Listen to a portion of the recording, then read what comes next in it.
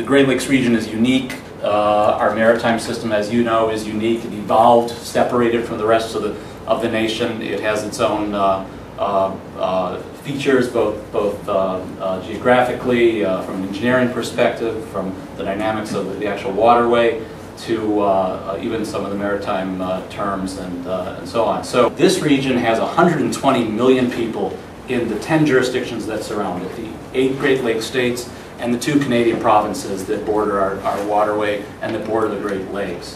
120 million people is three times the size of California. The shipping system moves a couple hundred million tons of cargo every year for the for energy production, coal that's come uh, through this port, uh, iron ore for steel production, um, uh, and uh, um, agricultural products uh, for export and also for domestic consumption.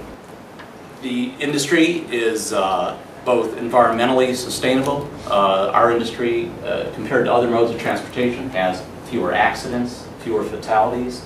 Uh, It emits fewer greenhouse gases.